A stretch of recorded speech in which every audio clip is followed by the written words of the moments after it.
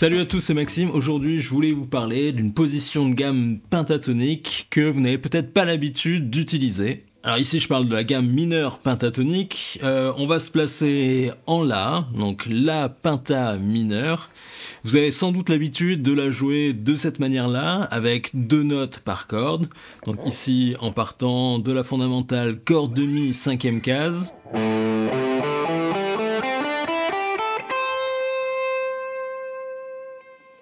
On a le La, Do, Ré, Mi, Sol, et ça répète La, Do, Ré, Mi, Sol, La et Do. Alors cette position, c'est la position classique, basique, que l'on apprend dès qu'on commence à voir la gamme mineure pentatonique. Moi maintenant je vais vous montrer une nouvelle manière de jouer cette gamme, peut-être un peu plus moderne, qui se prête peut-être davantage, qui se prête même très bien au jeu en legato, le jeu jazz fusion tel qu'on peut voir dans des guitaristes assez modernes comme euh, Jack Gardiner par exemple. On va donc la jouer avec trois notes par corde, de cette manière-là.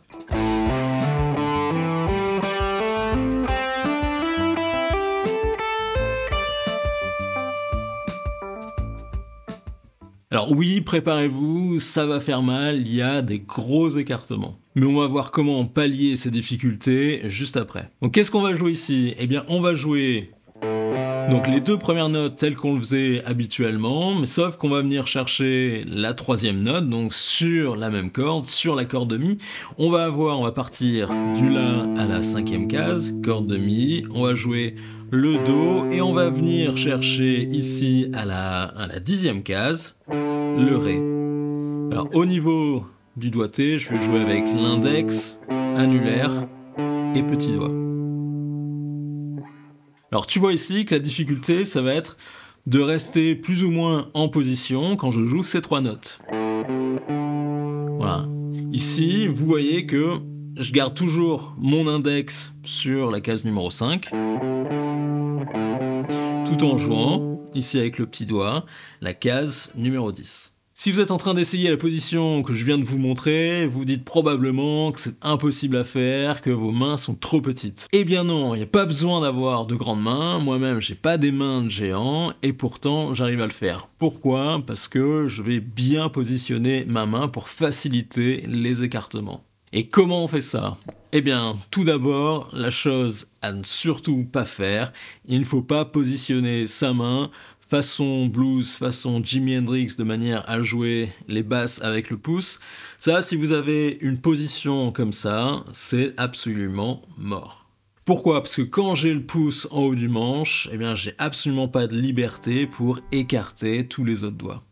Donc ce que je vais faire, c'est qu'on va adopter ce qu'on va dire une position de guitare classique, c'est-à-dire que le pouce n'est pas en haut du manche, mais il est plutôt derrière, en bas du manche. Et quand je déplace mon pouce, quand je le déplace vers le bas, eh bien vous voyez que naturellement en fait, je vais ouvrir davantage la main, mon poignet va avancer, va se casser davantage, et comme ça je vais pouvoir libérer tous mes doigts et avoir un écartement beaucoup plus important. C'est donc la position à adopter pour pouvoir jouer cette gamme pentatonique mineure avec trois notes par corde. Si je reste comme ça et que je veux la jouer, je vais absolument pas y arriver. Quand je change de position, j'ouvre la main, j'écarte mes doigts, et naturellement, pas besoin d'avoir une grande main ou des longs doigts, c'est un, écartement qui va se faire tout facilement, naturellement. Donc ici, la position du pouce derrière le manche, position de la main sur le manche, elle est cruciale. Alors évidemment, si vous essayez et que ça commence à tirer, que ça commence à faire mal, n'allez pas vous blesser, arrêtez. Essayez ça progressivement petit à petit aussi pour développer la, souplesse de vos doigts et de votre main. Donc maintenant qu'on est bien positionné, eh bien on va pouvoir jouer cette gamme. Donc trois notes par corde. Ici donc chez le La à la, à la cinquième case. Ici, huitième case, dixième case. Je vais jouer le Ré, ici, corde de La à la cinquième case. Et là, vous dites peut-être quelque chose. Ce Ré, on vient de le jouer juste avant. C'est-à-dire que quand je suis là, La, Do, Ré, hmm, ma troisième note de mon premier groupe de 3, c'est bien un Ré, et quand je change de corde, je rejoue un Ré. Bien oui, c'est l'avantage de cette position, c'est ça qui fait aussi sa spécificité, c'est-à-dire qu'à chaque changement de corde, on va avoir une note qui va être redoublée. Petite interlude pour vous dire que si vous aimez le contenu proposé sur la chaîne, eh bien n'hésitez pas à vous abonner, à mettre des pouces, à mettre des commentaires et à partager les vidéos. Mon premier groupe de trois notes, c'est La, Do, Ré. Quand je change de corde, je vais rejouer le Ré, corde de La à la cinquième case. Donc je vais jouer Ré, Mi et Sol.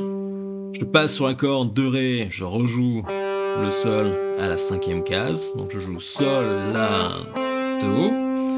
Je passe sur la corde de Sol, je rejoue le Do. Do, Ré, Mi. Je passe sur la corde de Si, toujours cinquième case, je rejoue le Mi. Donc je vais avoir Mi, Sol, La. Et ensuite quand je passe sur la corde de Mi aigu, cinquième case, je rejoue le La. La, Do,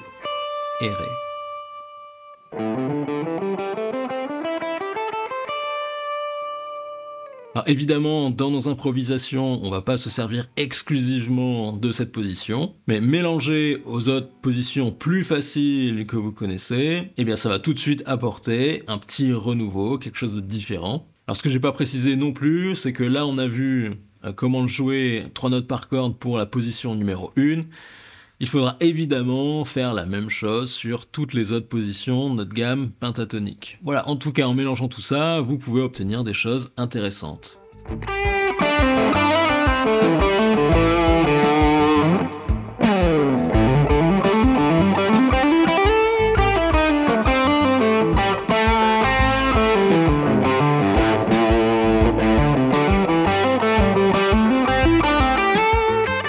Voilà, c'est tout pour cette vidéo. Si vous voulez explorer d'autres manières de jouer la gamme pentatonique auxquelles vous n'avez peut-être pas pensé, ben, je vous conseille d'aller regarder cette vidéo.